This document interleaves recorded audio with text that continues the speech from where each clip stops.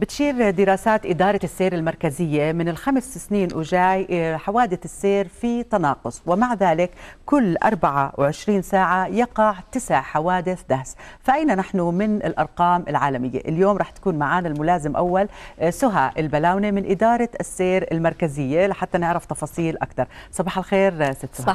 أهلا وسهلا بحضرتك. أهلا فيكي عم نتف- نتفرج أنا وياكي على أرقام بالفعل ملفتة للنظر بالنسبة لدراسات اداره السير المركزية، يعني إنه نحن من 2007 لل 2012 واضح إنه آه، حوادث السير في تناقص، عدد الوفيات في تناقص وال- وحتى الإصابات آه، في تناقص، هلأ شو السبب إنها من 2009 لل 2012 بهالتناقص هذا؟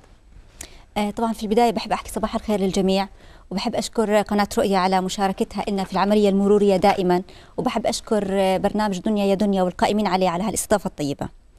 آه، بالنسبة للتناقص هو فعلا في تناقص في الحوادث المرورية كعدد حوادث وكعدد وفيات.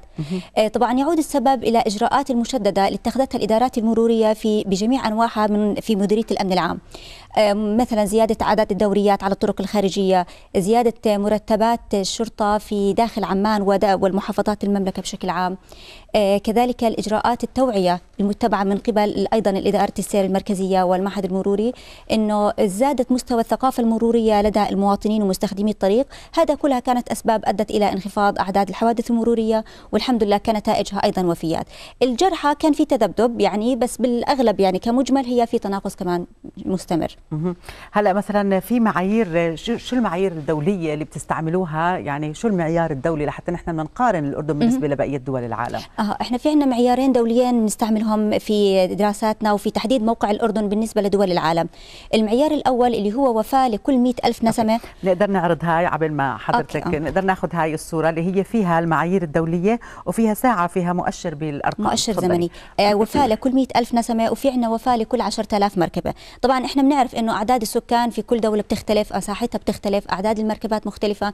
فهذا كان يعني مؤشر ونسبة بتعطيني موقع كل دولة وين بالنسبة للدول الأخرى. المؤشر الزمني الموجود بالأسفل هو أيضا بيعطيني فكرة عن آه كيف طبيعة الحوادث اللي بتقع يوميا في المملكة. فكل أربعة وسبعة بالعشرة دقيقة يقع حادث سير. طبعا هو بصراحة هذا يعني شيء مهول يعني. إحنا بنحكي أربعة وسبعة بالعشرة دقيقة يقع حادث سير بالاردن في الأردن كثير شيء كبير. كل ثلاثة أو 31 أو كل 30 دقيقة بيقع آه شخص مصاب نتيجة حادث مروري. آه كل 24 ساعة يقع حادث دهس. يعني في اليوم كل يقع 24 9 1 بالعشرة. يقع تسع حوادث دهس. آه. وكل 24 ساعة بيتوفى تلا- 2.2 شخص نتيجة حوادث المرور. فيعني إحنا بنقبل إنه هاي وين في موقعنا بالنسبة لدول العالم؟ نحن موقعنا تقريبا نقدر نحكي آه، يعني متوسط مش إحنا مع الدول المتقدمة جدا اللي فيها حوادث ونسبة الحوادث آه، منخفضة ولا إحنا مع الدول برضه يعني إحنا نعتبر نفسنا في موقع متوسط بين دول العالم نتيجة هدول المعيارين الموجودين عندنا. متوسط يعني نعم متوسط. بالعالم. أوكي. طب هلا بدنا نشوف آه، بالنسبة لل عادة بتيجي شكاوي من أشخاص آه، أو مثلا مناطق آه، مرورية بتكثر فيها الحوادث بتكثر فيها المشاكل المرورية. كيف بتتعاملوا معها؟ هل بتستنوا يجي شكوى من موقع معين وبعدين تشتغلوا عليها؟ كيف آه هلا بالنسبة مثلاً؟ للمواقع اللي بتشهد مشاكل مرورية آه بيأتي إحنا هاي معالجتها ضمن محور التنسيق مع الشركاء اللي هو أحد محاور الخطة الاستراتيجية لإدارة السير المركزية. آه، طبعا تردنا هاي الشكاوي بطرق مختلفة. ممكن تجينا بطريقة رسمية من خلال مديرية الأمن العام أو أي جهة رئيسية م- يعني رسمية أخرى. آه، ممكن تردنا الشكاوي عن طريق المواطنين بشكل مباشر إنه بيجي على إدارة السير بيقدم شكوى مباشرة أو على الهاتف أو عن طريق الإيميل. يعني ممكن تردنا بكل هاي الطرق الشكاوي. في عندنا رابط في على موقع إدارة السير رابط عن الاقتراحات والشكاوي. آه، ممكن أي مواطن بحس إنه في شكوى أو مشكلة مرورية في منطقته أو حيه أو في المكان اللي بيشتغل فيه يبعث لنا فيها وإحنا مباشرة بنقوم بإجراء اللازم في هذا الخصوص. طبعا مجرد وصول هاي الشكوى هي عادة تحول لنا لقسم الدراسات. آه، بيتم تشكيل لجان مع الجهات المختصة صاحبة العلاقة اللي هي عادة بتكون وزارة الأشغال العامة وزارة البلديات وزارة النقل آه، وزارة أمانة عمان الكبرى هيئة تنظيم النقل البري وأيضا الإدارات المرورية اللي بتتبع لمديرية الأمن العام. طبعا هدول كلياتهم إحنا بنعتبرهم شركاء استراتيجيين لنا في العملية المرورية لأنه أهدافهم تتقاطع مع أهدافنا والواجبات اللي بيقوموا فيها أيضا بتحقق أهدافنا الرئيسية اللي هي تقليل عدد الوفيات الناتجة عن حوادث السير. فبنشكل لجنة حسب طبعا الموقع هو لأي جهة يتبع. إذا كانت صاحبة الموقع هي وزارة الأشغال بنطلع مع مندوبين من الأشغال. إذا للأمانة بنطلع مع الأمانة بلديات مع البلديات. هلأ بيقوم المهندسين من جهتنا ومن طرفهم بدراسة الموقع. ووضع الحلول الفنية والهندسية المناسبة حسب طبيعة الشكوى. وبما إنه الجهة صاحبة الاختصاص معنا في الموقع فبيكون التنفيذ أسرع. إنه يتم رفع مباشره التوصيات اللي تم التنسيب فيها إلى التنفيذ ويتم متابعتها إلى أن يتم تنفيذها. عشان هيك طيب إحنا هلأ في عندنا مادة فيلمية بنشوفها مع بعض وبنتابع حوارنا مع الملازم أول سهى البلاونه من إدارة السير المركزية.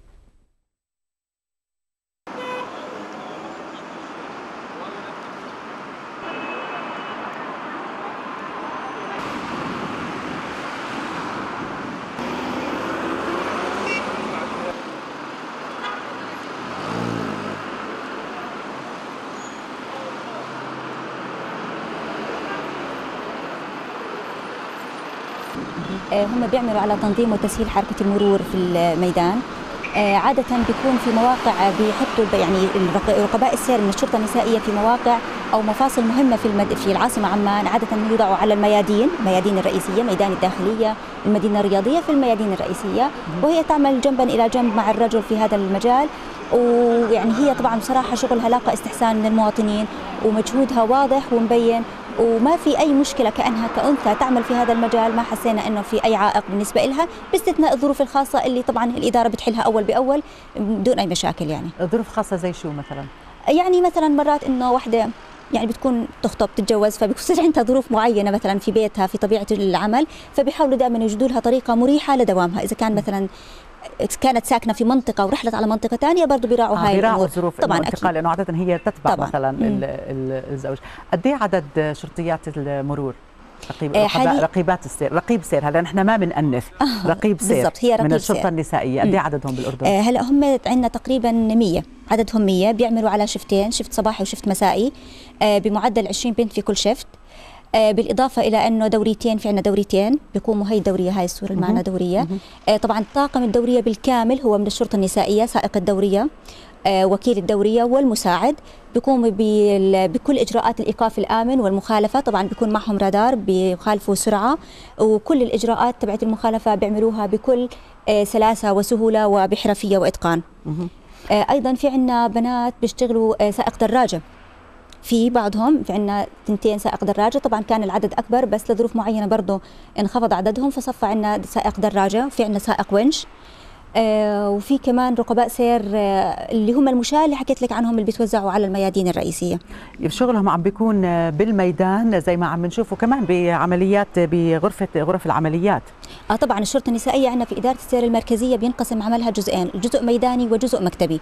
هلأ الجزء الميداني اللي هذا اللي عم بنشوفه الجزء المكتبي آه في عندنا بغرفة العمليات بتلقوا المكالمات اللي بتيجي من المواطنين عن حوادث السير أو أي مشكلة في الشارع. وفي كمان شرطة نسائية في العلاقات العامة بيقوموا بإعطاء المحاضرات.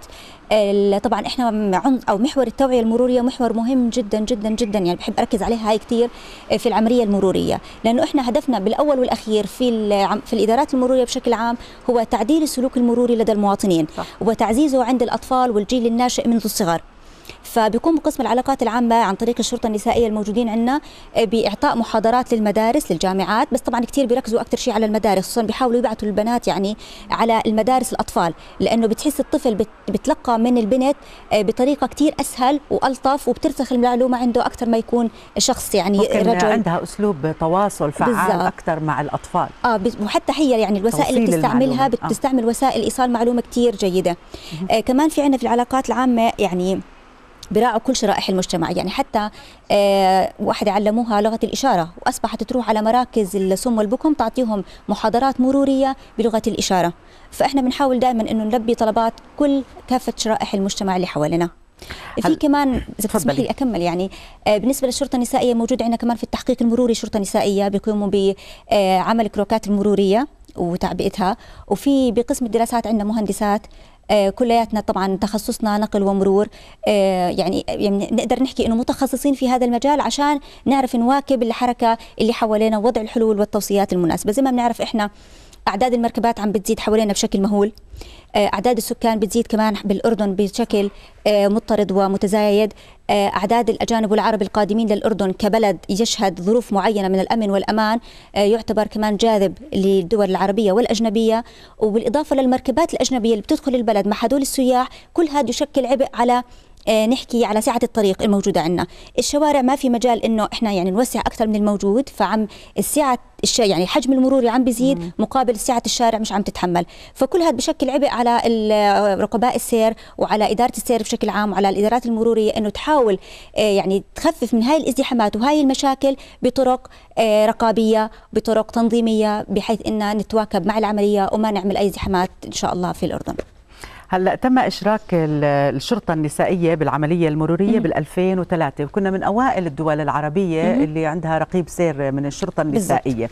آه، هلا كيف عم بيلاقوا هم يعني الشرطيات نفسهم؟ كيف عم بيلاقوا حالهم؟ كيف عم بتلاقوا ردود فعل المجتمع لهم آه، هلا الشرطة النسائية هي بالأصل بلشت تقريبا من الثمانينات فكرة إشراك الشرطة النسائية في العملية المرورية، لكن في هذيك الفترة كان لظروف اجتماعية معينة آه، ما نجحت الفكرة وما استمرت. آه، ردوا في التسعينات مرة ثانية حاولوا أنه برضو يدخلوا الشرطة النسائية في العملية المرورية لكن هالمرة انحصر عملهم في العمل المكتبي. برضو لسه الميداني ما كنا داخلين. في 2003 بدأ إشراك الشرطة النسائية في العملية المرورية بشكل رسمي آه، من خلال تسهيل وتنظيم حركة السير في الطرق. كان عملها في أول الفترة آه، بس ينحصر ضمن هذا المحور اللي هو تنظيم وتسهيل المرور. بعد ما حسوا إنه فعلا الشرطة النسائيه نجحت في الميدان ولاقت استحسان الجميع وأثبتت جدارتها بجانب الرجل في هذا المجال آه، بدأوا يدربوهم على قيادة الدوريات وسيارات الدفع الرباعي وصار في عندنا يعني دورية بكامل طاقمها من الشرطة النسائية.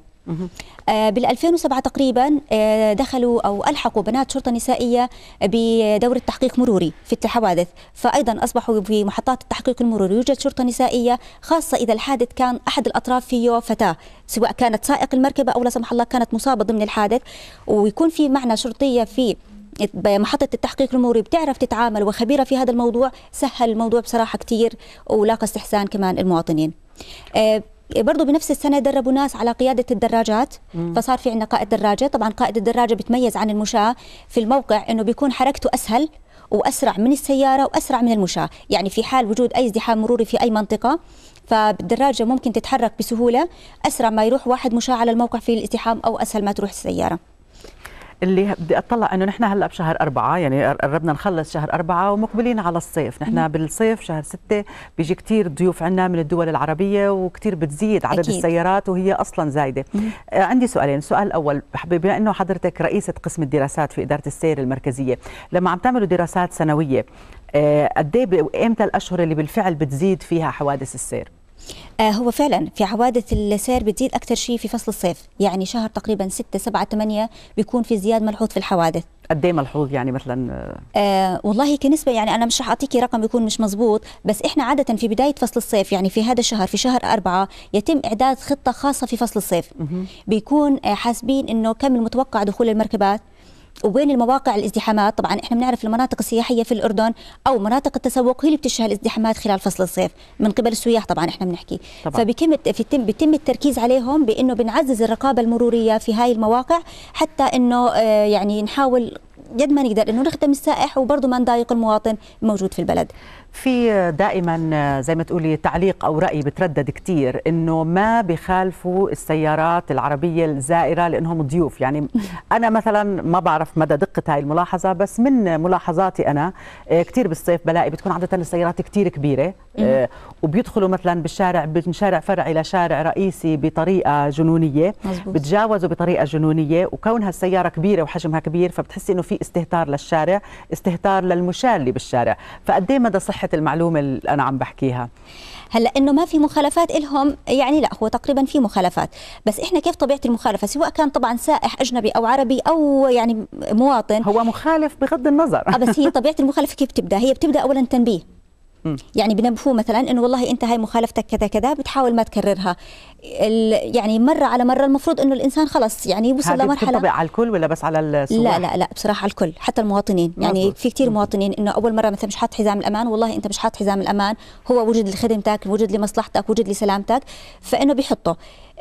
بنحس إنه في بعض الناس بيستجيب وبعض الناس ما بيستجيب. فاللي ما بيستجيب بنضطر نخالفه لأنه يعني هي زي ما حكيت لك هي عملية ضبط العملية والمخالفة مش القصد منها المخالفة بقدر ما هي تعديل السلوك. وإحنا بنعرف في بعض الناس يعني الشخصية الإنسانية بتختلف من شخص لشخص. حدا بيجي بالكلمة ممكن تحكي له عن شغلة يعني بطريقة سهلة بيستوعب الموضوع وبتقبلها منك. في حدا في بعض الشخصيات الإنسانية لا بدها أسلوب الردع والعقاب حتى إنها تلتزم في هذا الموضوع. فهي أنه المخالفة في مخالفة للسيارات الأجنبية خصوصا المخالفات المتحركة.